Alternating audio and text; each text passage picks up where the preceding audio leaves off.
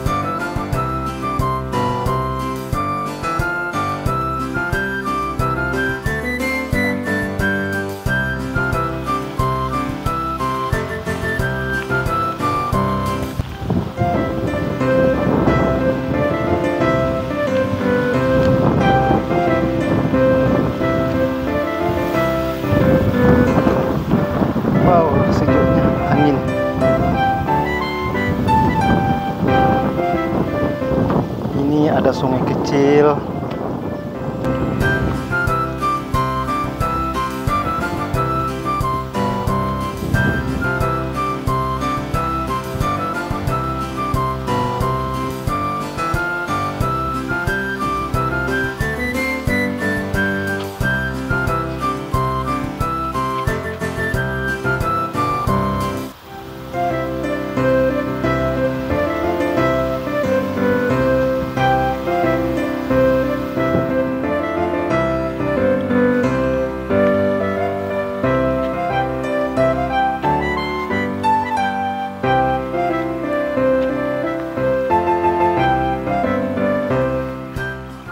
Nah, di pinggir-pinggir sawah ini ada kali, kali kecil ya. Berfungsi untuk mengairi sawah.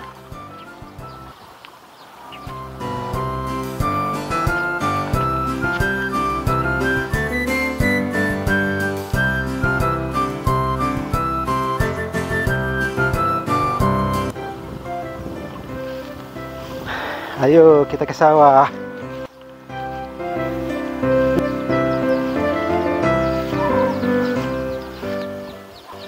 Padi yang bagian di sini belum berbuah ya, teman-teman. Masih hijau. Wow. Ini ada kacang panjang, teman-teman. Nah, inilah tanaman di sawah ya. Di pinggir-pinggir gubuk ada kacang panjang, sayur-sayuran seperti juga ada singkong teman-teman. Ada singkong.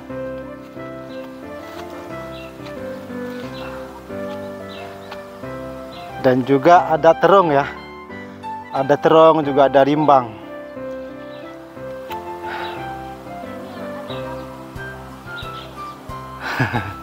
Ayo kita gubuknya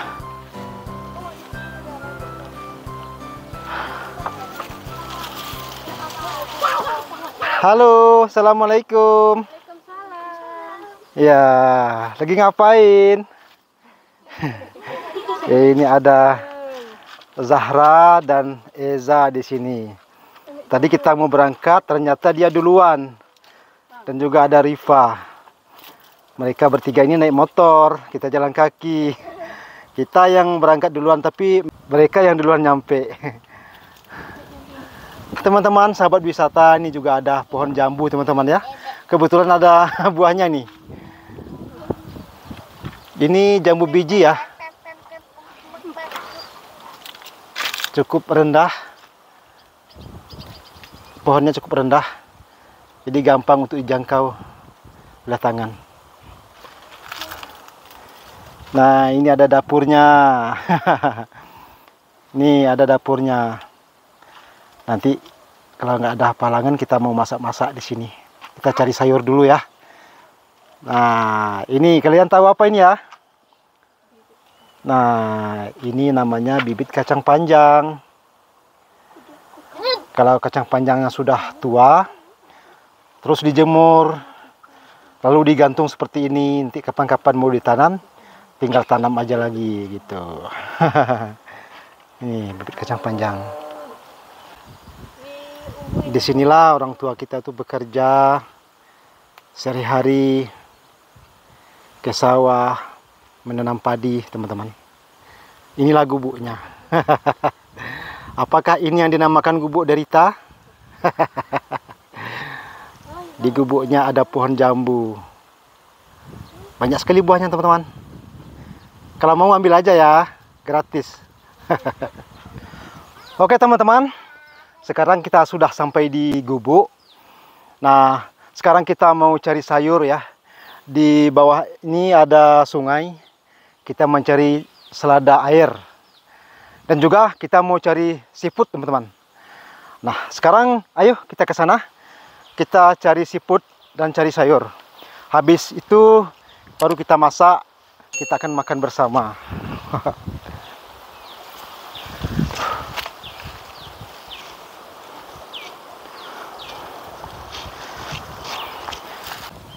Teman-teman, jalan ini cukup terjal teman-teman ya. Karena di bawahnya itu ada sungai, sungai kecil. Jadi di sini seperti jurang begitu ya. Tapi insya Allah kita bisa melewatinya. Karena orang tua kita biasa ya lewat di sini hari-hari untuk oh, mandi, apalagi mau eh, berwudu juga di sungai ini. Ayo kita lihat ke sana.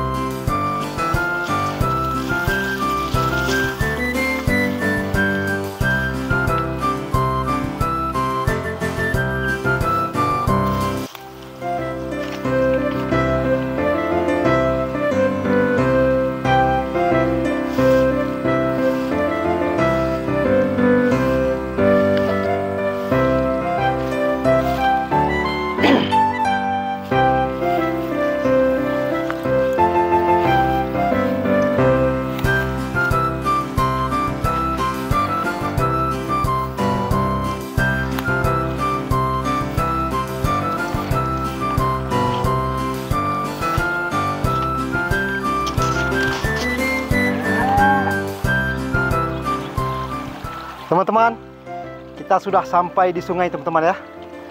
Di sungai kecil. Kita akan cari sayur, sayur selada air. Nah, di sampingnya ini ada kandang sapi teman-teman, ada sapinya. Yuk, kita cari sayur.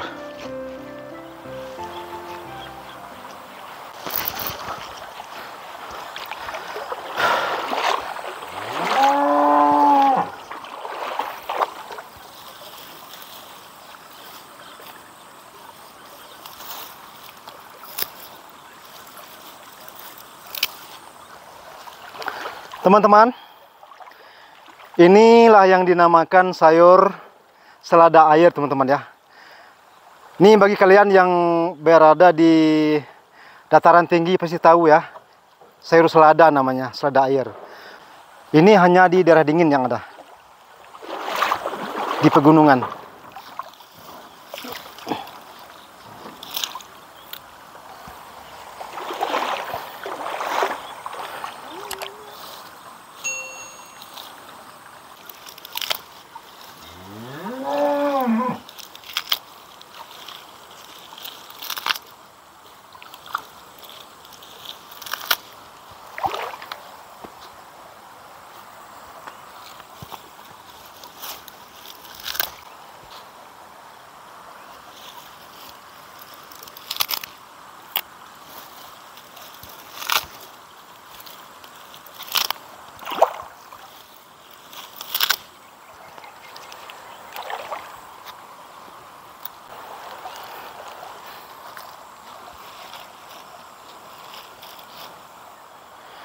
Teman-teman, ini kita sudah mendapat ya sayur.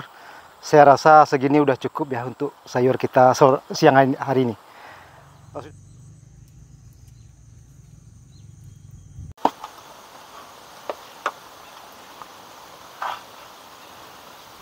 oke okay, oke. Okay. Sedikit lagi tambah sedikit.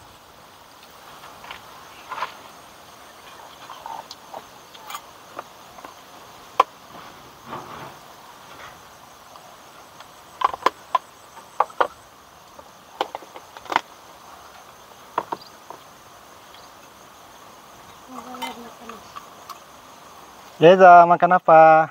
Jambu. Makan jambu. Enak jambu nenek. Enak. Ini sayur yang kita cari tadi deh teman-teman. Lumayan lah untuk direbus ya siang hari ini. tadi rencananya kita mau cari siput, tapi nggak jadi teman-teman karena cuacanya mendung takut hujan. Nah cukup ini aja lah sayur selada air ini untuk sayur kita pada siang hari ini.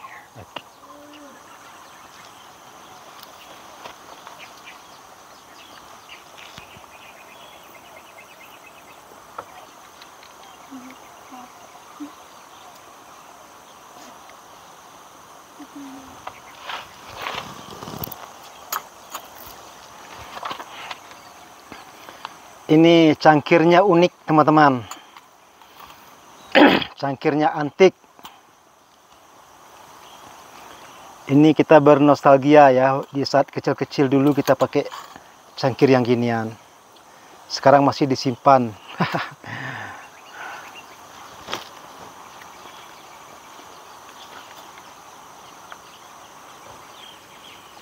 nah, sudah masak teman-teman.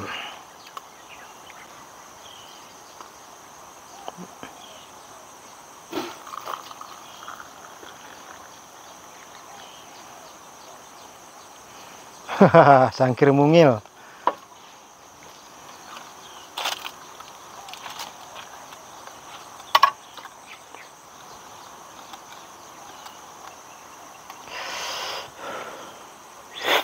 Hmm. Memang beda rasanya ya kalau masak dengan kayu.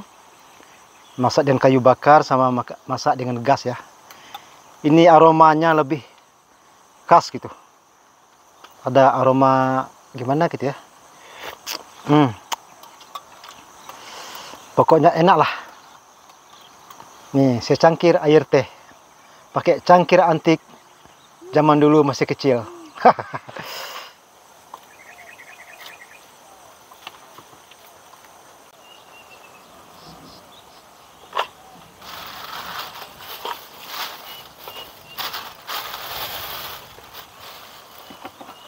Banyak nih masuk semua ya? Masuk. Masuk? Wah, kebanyakan ini. Ya udah, masukkan aja lah. Terus dimasuk pupuk area ya.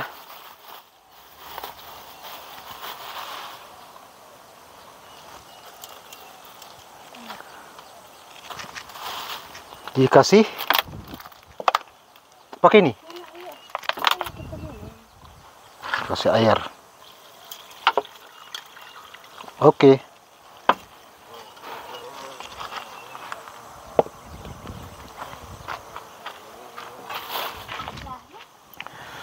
Sambil menunggu sayur kita matang ya teman-teman. Ini mamanya si Eza lagi mengiling cabai ya. Bikin sambal. Sambal pedas. Nah. Ini ada tomatnya. Ini tomat sayur teman-teman ya. Bukan tomat eh, yang besar itu. Tomat apa namanya? Yang dijual di pasar-pasar itu umumnya kan yang besar-besar. Ini kan tomat sayur yang kecil-kecil. Itu memang beda rasanya teman-teman. Ini lebih gimana gitu ya. Pokoknya enak lah daripada tomat biasa.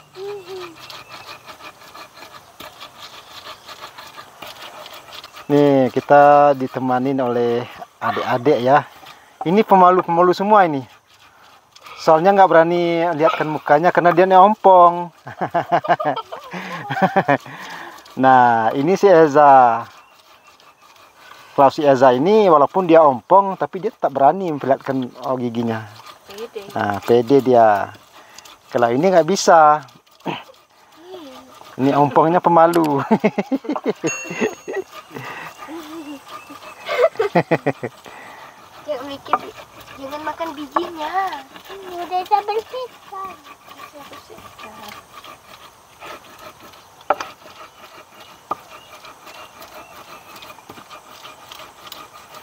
Kalau Mama Eza ini sambal apa pun yang dibikinnya pasti enak.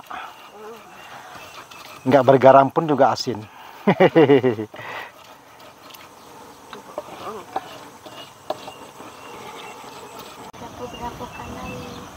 Nih teman-teman, periuknya nggak punya tutup nih. nggak ada tutupnya ini. Tapi nggak apa-apa ya. Yang penting bisa matang sayurnya. Ya.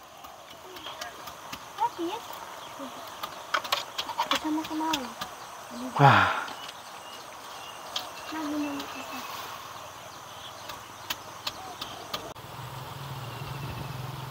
Eh. Kena tak aku. Nggak dimasak, nggak digoreng. Cabenya mentah. Tomatnya mentah juga ya? Tomatnya juga mentah. Semuanya mentah.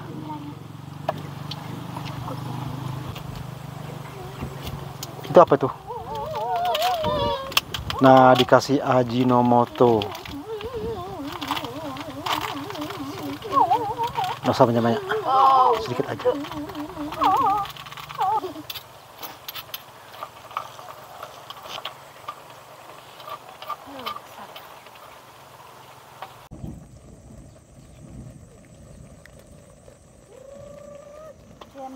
Halo teman-teman, sahabat wisata. Kita sudah selesai masak dan bikin sambal ya teman-teman. Sekarang sampailah saatnya kita untuk menyantap masakan kita pada siang hari ini ya. Inilah penampakannya teman-teman. Ini ada sambalnya. Ini memang sengaja ya. Oh, tidak dimasukkan ke dalam piring. Cukup di dalam apa namanya? gilingan ini aja ya. Nah, ini nasinya dia bawa dari rumah pakai daun pisang. Kita makan sama-sama. Ini ada juga gulai ya. Gulai yang kita bawa dari rumah juga ini ada. Ini sayurnya, sayur selada. Nah, sekarang kita lihat wajah-wajah yang pagi pengen makan ini udah kelaparan kayaknya ya.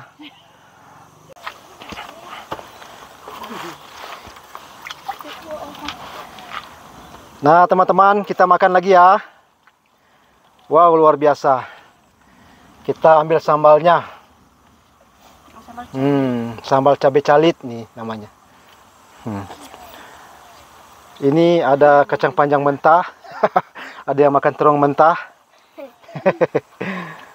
Oke, ini sayur seladanya ya. Garpunya garpu lima aja. Bismillahirrahmanirrahim. Boleh.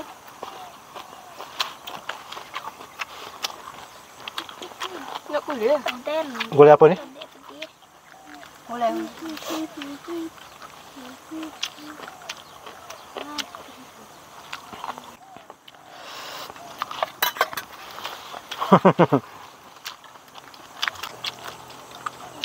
Wah, kalah uwa.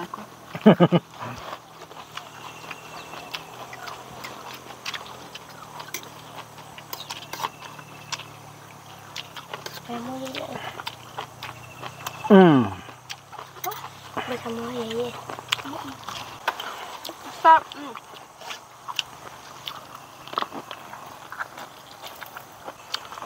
Empan. Dia mamam sama induk. Mau mau dia mamam.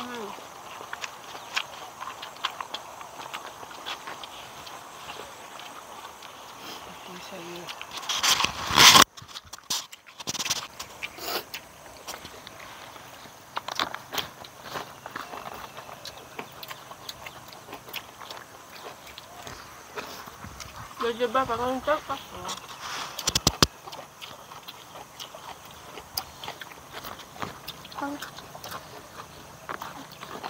Masakan mo dawan. Ma, tambah. Tambah. Ano nga naman tara? Entah. Kacang mentah. Hmm. Dicocok dengan sambal. Hmm.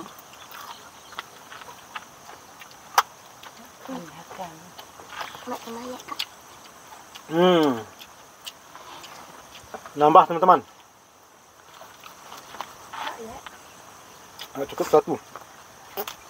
Cukup sama nama.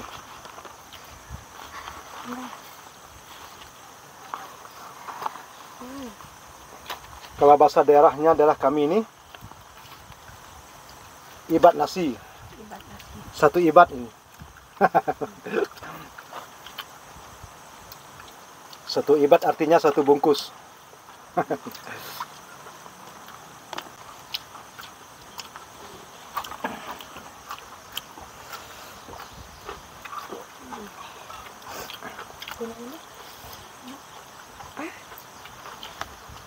Sama hal mawa kan. Kan. Hmm, bersama lah lemak salak. Sama Berarti sambal ini. asin sambal lah. Mak awak kamu. Boleh lagi. Teman-teman, kita sudah selesai makan. Disambut dengan hujan gerimis nih. Serta angin. Cukup sejuk teman-teman ya. Di sini sejuk sekali. Angin sepoi-sepoi. hujan gerimis.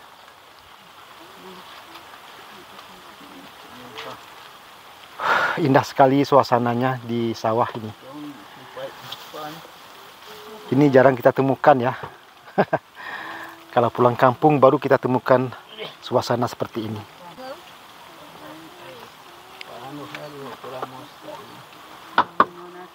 Sawahnya belum berbuah padinya teman-teman.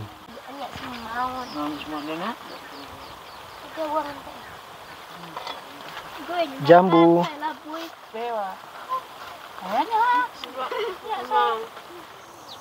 Halo teman-teman. Kita sudah siap cari sayur, masak, bahkan sudah makan ya. Sekarang udah kenyang. Tadi sempat eh, sedikit apa nama gerimis, sekarang gerimisnya sudah reda. Nah, bagi kalian yang belum subscribe, jangan lupa subscribe agar saya semangat lagi untuk bikin konten-konten berikutnya, teman-teman. Dan juga jangan lupa eh, like dan tinggalkan komentar kalian di kolom komentar. Oke teman-teman, lebih dan kurang mohon maaf. Assalamualaikum warahmatullahi wabarakatuh.